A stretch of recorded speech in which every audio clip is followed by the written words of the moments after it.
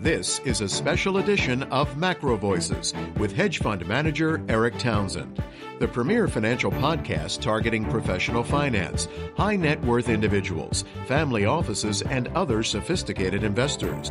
Now, for this special edition of Macro Voices, here's hedge fund manager Eric Townsend.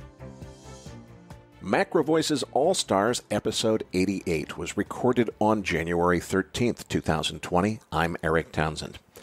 Back with us in the new year, it is Jeffrey Snider, CIO of Alhambra Investments. And as usual, Jeff has prepared a terrific slide deck to accompany today's interview. The slide deck download link is in the description of today's episode on our homepage at macrovoices.com. This episode of Macro Voices All Stars is brought to you by TopTradersUnplugged.com, the leading podcast when it comes to quant and rules based investing. I'll tell you how to claim a free copy of their new guide to the best investing books ever written at the end of this episode. Jeff, when we first saw this repo situation blow up, we were assured, look, this is transitory, it's temporary, it's just a tiny little end of quarter thing, it's it's nothing to worry about. There's going to be a little intervention, but it's a one-time deal. No worries, nothing to see here, move along it's starting to look like the Fed's repo interventions are going to be around a little bit longer than was first communicated. It's maybe not going to be that one time thing. So, this asset purchase plan, which we're definitely not supposed to call QE, which raises the level of bank reserves, plus a temporary standby repo window to dole out additional reserves just in case the situation should arise, even though there's no problem here. It's just like any other quarter end, or we're supposed to think that. Now they're saying that those programs could go on for several months, if not indefinitely. So it seems somehow that the original description of what was wrong wasn't right, but they haven't really given uh, an alternate version. So, according to Fed officials, None of this really matters to the regular guy on the street. It's a bunch of technical matters. The best and the brightest monetary minds already have it completely under control. There's nothing to see here. Move along. Don't look under the covers. And whatever you do, don't call it QE. Why is it, Jeff, that I kind of get the feeling that you might have a different take on this? Well, because we're both reasonably intelligent people capable of observing things and applying common sense. Um, I mean, look, this is so much bigger than just a minor calendar problem in the repo market. What the Fed is trying to avoid coming to grips with is this systemic monetary issue you and I have been talking about the entire time I've been interviewing with you.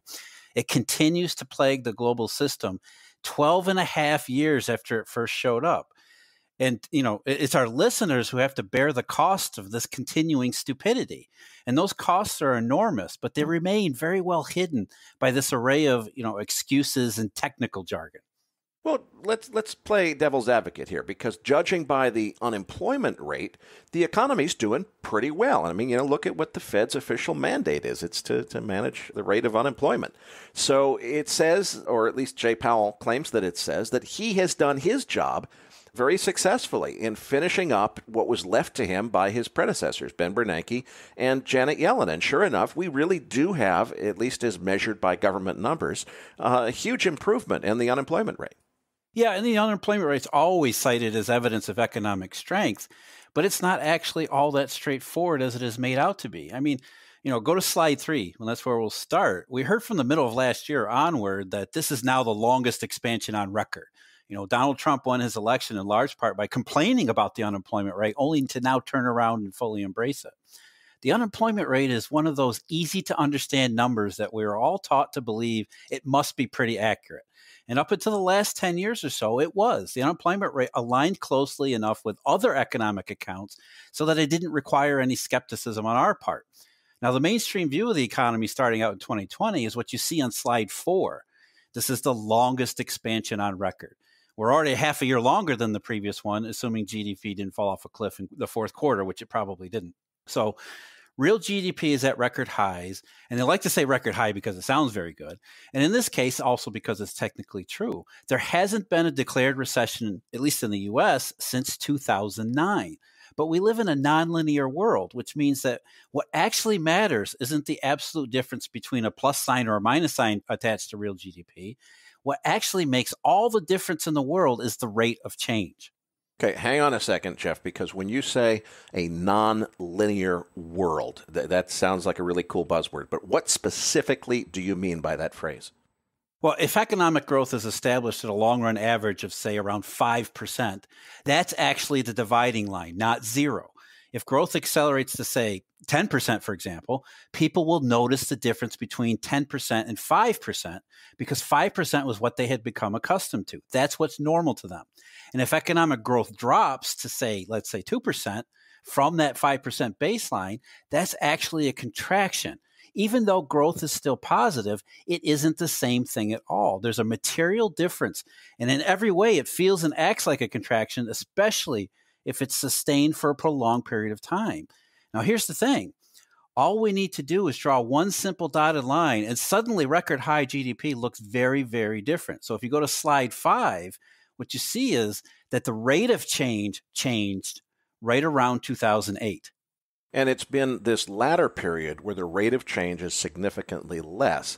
That's where the Fed suddenly becomes active, right? I mean, before 2008, or at least for a quarter century before the crisis, all the central bank did was move around the Fed funds rate. They didn't get involved in all this fancy footwork with monetary policy. But all of a sudden, a global financial crisis, a different rate of change in the economy, and included with those a central bank that even 10 years later can't seem to stop doing QEs. We, have learned that we're not allowed to call them QE anymore, but they're really still doing the same thing. They're tinkering with bank reserves because simply adjusting the Fed funds rate isn't enough to achieve their objectives. Yeah, and that, that's exactly what we see on slide six. So we already have two clues to follow up on. The rate of change changed during the same period when the Fed's operations changed. Both of those were, at least until now, they have become permanent. But if you ask Jay Powell, what he would tell you is, is that, you know, this is just how it is.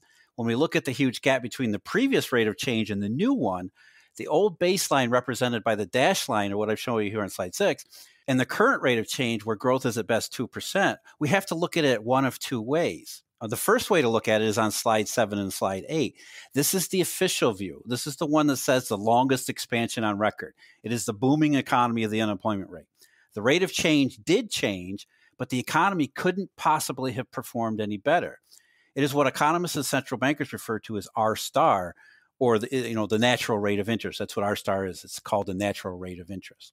And it's also where they start to lose anyone in the public who might be curious enough to actually start thinking about and looking at the differences between quote unquote record high GDP and where GDP might have been along our dotted line. The natural rate of interest or R star is something you know that economists calculate as being determined by supply side factors or what's called economic potential. So if the rate of change is so much less than it used to be, and it clearly is, the Fed says that's because economic potential changed sometime after 2008. Now, what low R star means is a couple of things. One is productivity that economists can't explain, lower productivity that economists can't explain. And the other big one is what they say is an aging and lazy labor force. Baby boomers are retiring in huge numbers, and younger Americans who are either you know addicted to opioids or unmotivated to go back to college and learn to code. And it's a labor force that has become so rigid and of such diminishing value that the economy can no longer grow like it once did according to them, these are structural factors that, that, are outside the scope of monetary policy. So the Fed can claim it ultimately can't address these problems, but they'll still try with unconventional policies like these QEs to try to lessen their impact on the economy. That's the official view. What's the alternative view? Well, the alternative view is the one with all the evidence, and it's the one that's consistent with common sense. And it, you know, it's a really pretty straightforward, simple choice. If you go to slide nine, Either you believe the economy can't grow like it once did, that baby boomers and drug addicts all got together in 2008 and sabotaged economic potential, or you believe that there must be something holding it back, that this new lower rate of change since 2007 is kept artificially low by factors officials don't seem to want to ever consider.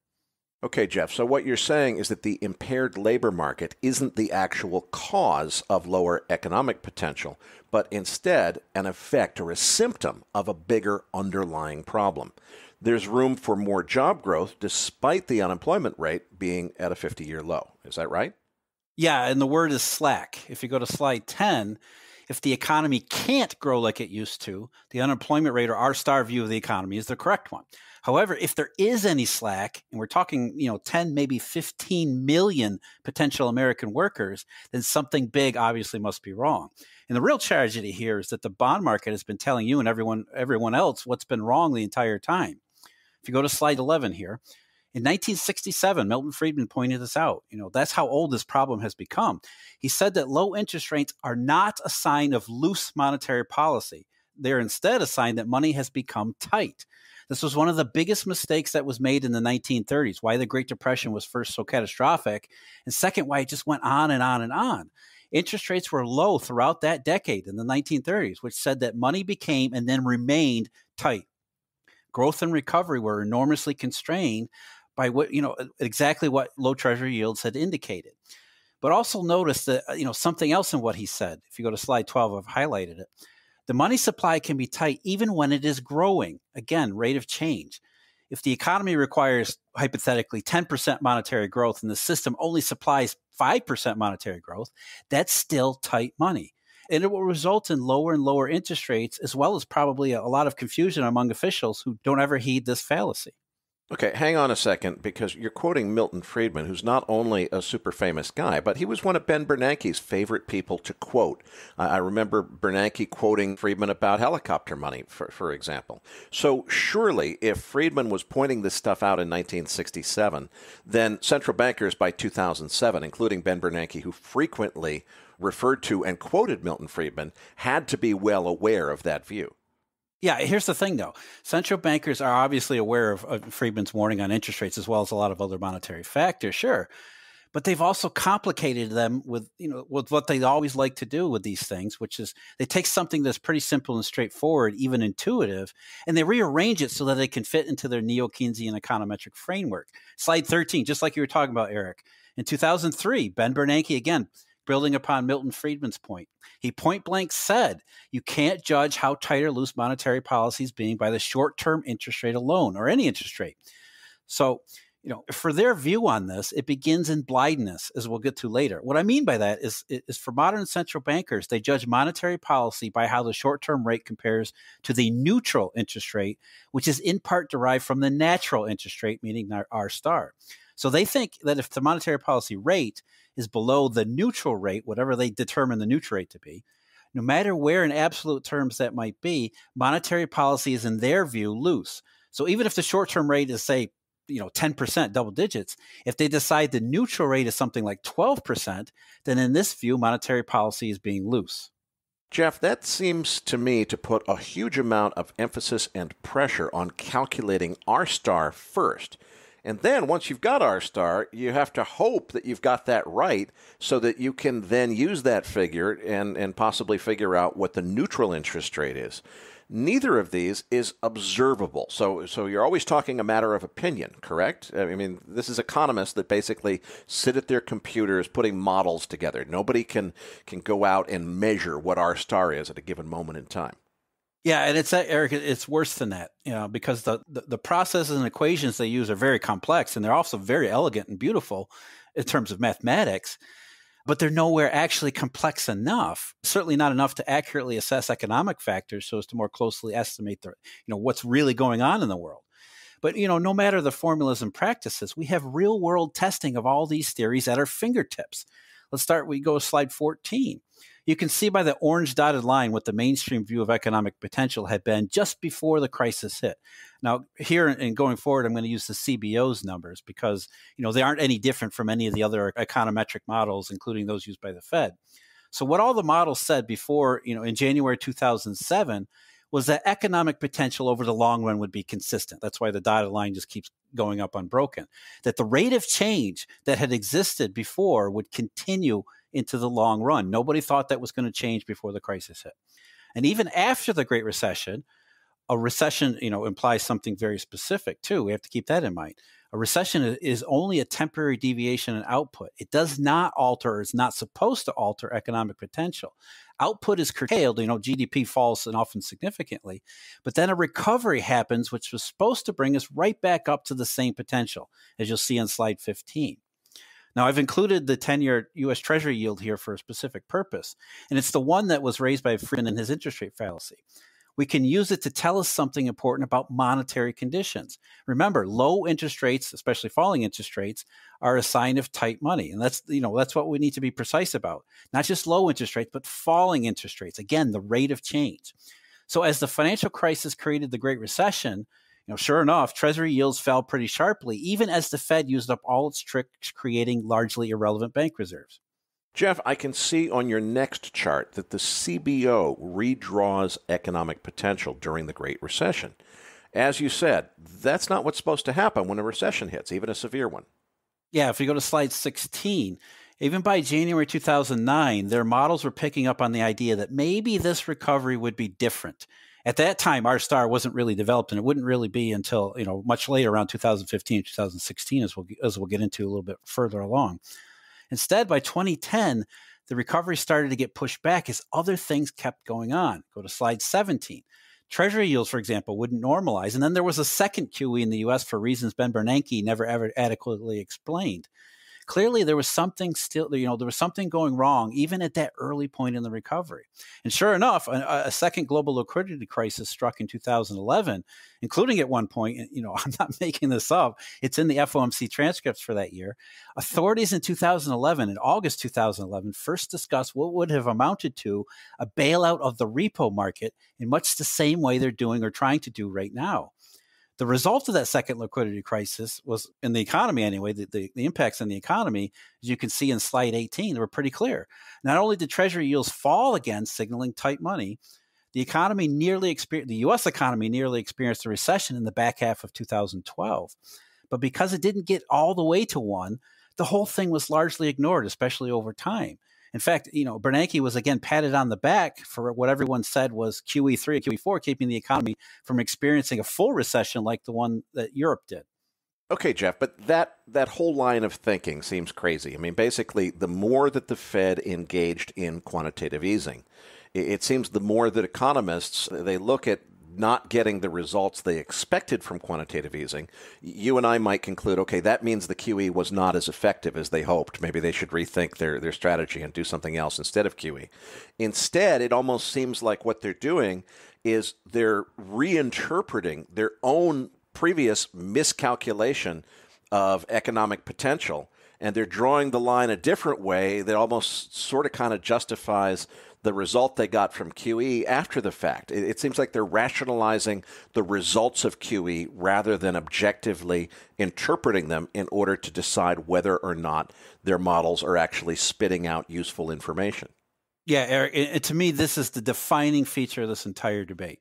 Remember, the question is whether the economy can't grow or is it being held back by something? So, by doing multiple QEs that they thought solved all of these liquidity problems, officials were saying, well, it must be the economy that is broken because it can't be that QE didn't work. If QE didn't lead to an actual recovery, then according to economists, the economy has to be the problem because QE is awesome and it's it's inarguably great. But that was always an assumption, and it was and it was always one that was never supported by the evidence.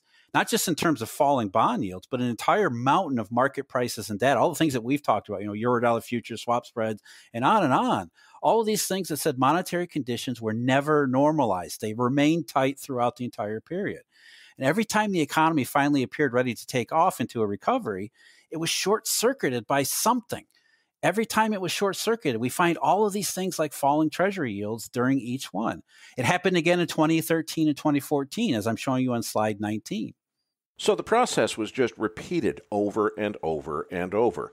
And rather than admit that the Fed didn't actually fix any problem with QE, uh, economists simply changed their economic potential models, which redefined the whole notion of the recovery, didn't it?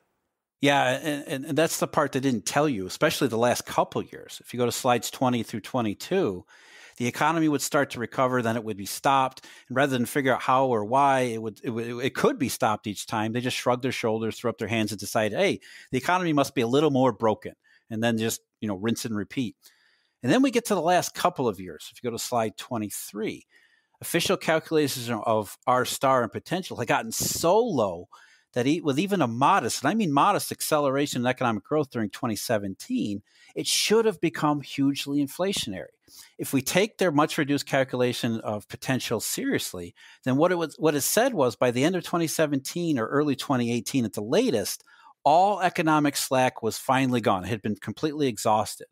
And it never happened. The whole R star story fell apart. And again, we, we talked about this, you know, the bond market said that. The flattening yield curves were telling you this thing wasn't happening, that the, the, the recovery, the end of slack, the inflationary outbreak, all of these things, they were not happening. Okay, so, but, you know, now with rate cuts and repo interventions, what did happen was that the official view of potential was changed yet again. Only this time, if you can go to slide 24, they raised their calculation of potential. That's what they did last year in, in August of 2019. What that means is because there wasn't an inflationary outbreak, the one that they kept hollering about, you know, they went hysterical over in, in late 2017, then we can only conclude, and even these R star calculations say that there must be some level of economic slack still remaining in the economy. They're just moving the target, as you said, Eric, but now in the opposite direction so that reality conveniently fits in with their theory. Okay, Jeff, but that's a profound change, isn't it? Because what you're getting at seems to be that if the models say there's some slack, then it's entirely possible that there's actually, in reality, a whole lot of slack that's a very different story than what the Fed is telling us. So, could it be then, or if that's the case, then what is the something else? You know, it seems like you, you keep alluding something else is holding the economy back that they don't seem to be acknowledging. What is that something? Well, that something is you know the global dollar shortage, the global dollar, the euro dollar system that we've been talking about and all we're talking about all this and the repo thing and everything else just in time for you know the bond market to yet again remind us in, if you go to slide 25 that's exactly what this thing is. It's monetary tightness to put it you know oversimplistic view of it. Treasury yields are falling you know the repo market goes haywire and the economy becomes uncertain all over again in the short terms so even if it doesn't lead to outright recession in 2020, like it didn't the two previous times, it still adds up to yet another false dawn, which gets piled on top of the two that have, the two others that have previously happened. You know, if you go back in 2014, slide 26, while that second false dawn was unfolding, or what I call Eurodollar number three, the third outbreak of a global dollar shortage, Janet Yellen was was brought before the Senate to testify, and she was asked about it. Well, she said that you know it wasn't likely to happen again in 2014. She admitted that this this was possible. You know, slide 27. More than that, you know, what she admitted, what she was talking about was that in all likelihood, there was actually still some slack in the economy, but it was hidden slack. And so over the next couple of years, she grew more confident that it had been used up. But what we've seen from the economy in terms of inflation, treasury yields, all of those market indicators I've, i always talk about, is that her private hunch has been proven correct. So let's go back one more time to Bernanke in 2003 on slide 28.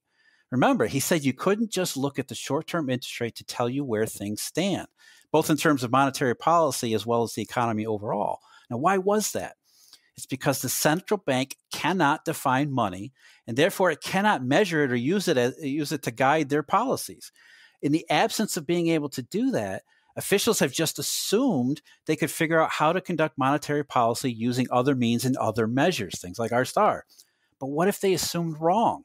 The 2008 crisis was also a consequence of getting money monetary policy wrong, and it should have been a wake-up call for monetary officials to look at their capabilities differently and maybe rethink whether they know what they are doing. So in terms of the economy, we're back at our original question. If you go to slide 29 and slide 30, is the economy broken so that it can no longer grow like it once did, the rate of change, the pre crisis rate of change? Or is it being artificially held back by something that no one will ever talk about? Now, if we remember Milton Friedman, we don't have to guess. We don't have to depend upon reverse engineering something like R star. We've got the deepest, most sophisticated markets in the world to tell us what's wrong and what has remained wrong for over 12 years. So even though real GDP is at a record high, that's technically true, it isn't anything like that in reality. The economic rate of change changed, and that's actually a huge problem. This isn't the longest expansion on record because it doesn't actually qualify as an expansion, unless, of course, you think R star is anywhere close to accurate, despite any evidence for it being that way, including the, the economists and the, the econometric models and their calculations of potential.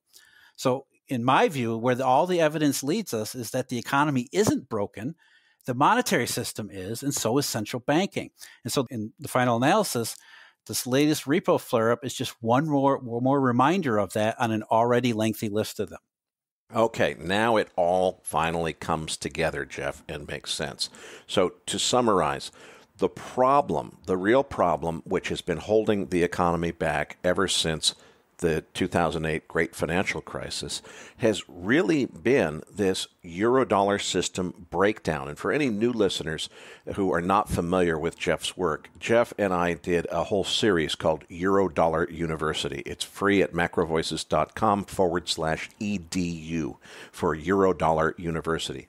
That series of podcasts describes how on August 9th of 2007 something changed and changed dramatically and has never been the same since and caused a breakdown in the commercial eurodollar system. That's what is the real thing that's holding back the economy and the Fed has misinterpreted it. They keep trying to solve the problem that they perceive to exist with more quantitative easing when in fact that's not really going to solve it. Is that a fair summarization, Jeff? Yeah, and, and you know, it's obviously a, a, complex story, but simplifying things to the, its highest level, that's really what we've seen. And again, it's Milton Friedman's interest rate fallacy personified. Low interest rates, tight money. And what we're talking about with the Eurodollar system and the breakdown of the Eurodollar system is that it's been malfunctioning, not consistently, but intermittently which causes a short circuit not just in the monetary system, therefore tight money conditions, but it's holding the economy back from what should be a full recovery. You know, we should be able to go back to the rate of change. This idea that the economy is broken in the U.S. because of the labor market, you know, problems in the labor force, baby boomers or whatever, it's completely ridiculous, especially since we see this type of economic behavior not just in the U.S. economy, but in Europe and all across Asia. It's in, it's infecting the entire global economy, which you know, obviously there's different local factors involved with those. So if we see economic rates of change changing all over the world, there has to be something singular that defines each one of those things. And that's the euro, you know, global dollar system, global reserve currency, tight money conditions that that affects the entire global economy and has for a dozen years. Well, Jeff, we're going to need to leave it there in the interest of time, but I look forward to getting you back in a month or so for another update where we can go a little bit deeper into everything that's going on in the global Eurodollar system. This episode of Macro Voices All Stars was made possible by TopTradersUnplugged.com, the leading podcast on quant and rules based investing. Be sure to claim your free copy of their recently updated guide to the best investing books ever written at toptradersunplugged.com forward slash macro guide. And if you haven't heard it yet, be sure to check out my full length interview with Niels Kaastrup Larsen on trend following strategies, which is linked in your Research Roundup email. For the Macro Voices Podcast Network, I'm Eric Townsend.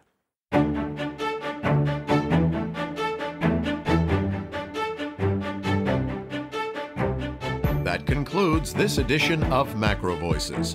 Be sure to tune in each week to hear feature interviews with the brightest minds in finance and macroeconomics. Please register your free account at macrovoices.com. Once registered, you'll receive our free weekly Research Roundup email containing links to supporting documents from our featured guests and the very best free financial content our volunteer research team could find on the internet each week also gain access to our free research library. And the more registered users we have, the more we'll be able to recruit high profile feature interview guests for future programs. So please register your free account today at macrovoices.com if you haven't already. You can subscribe to Macro Voices on iTunes to have Macro Voices automatically delivered to your mobile device each week free of charge. Macro Voices is presented for informational and entertainment purposes only. The information presented on Macro Voices should not be construed as investment advice. Always consult a licensed investment professional before making investment decisions. The views and opinions expressed on Macro Voices are those of the participants and do not necessarily reflect those of the show's hosts or sponsors. Macro Voices, its producers, sponsors, and hosts, Eric Townsend, shall not be liable for losses resulting from investment decisions based on information or viewpoints presented on Macro Voices.